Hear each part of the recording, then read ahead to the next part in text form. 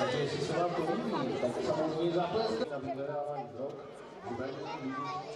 Jedná se o tradiční akci. V letošním roce již máme 12. ročník. Je to akce Občan a bezpečnost, eh, na které se podílí složky integrovaného záchranného systému a vlastně další organizace, které podporují jejich činnost. Eh, máme tady v letošním roce jak dynamické, tak statické ukázky. Byly tady eh, ukázky jak hasičů, policistů, tak jsme tady měli kolegy z vojenské policie.